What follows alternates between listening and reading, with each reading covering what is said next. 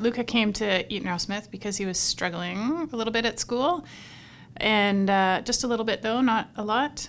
And uh, his behavior uh, was severely impacted. His confidence was down. He wasn't happy. Um, so we got him tested and decided to pull him out and send him here.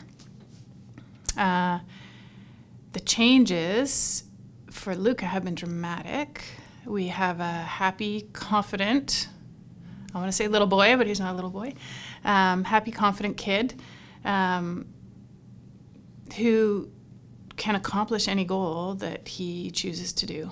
So that's been a dramatic difference for us. He's only been here one year, but the change has been huge. Uh, and it's not just me that's noticed it. People who, grandparents that only see him once a year, have commented about the dramatic difference. I think his his dreams are are what they always were. They're big, they're huge. This kid wants to go out there and accomplish a lot.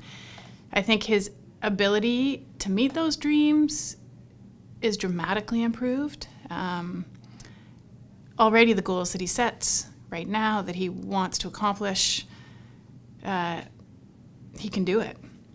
What we have now at home is overall a happy, confident kid. And uh, what we had before was a kid who was um, angry, he was sad, he was extremely frustrated. Um, and that behavior came out as you would imagine that it would.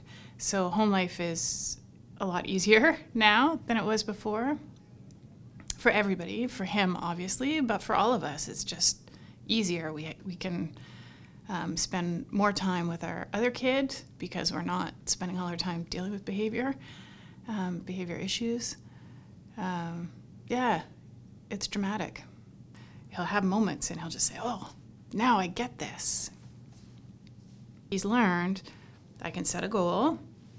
I can work at something. Oh, tomorrow I did a little bit faster. I did it a little bit better because everything's measured. So um, I, I've appreciated that stuff as well.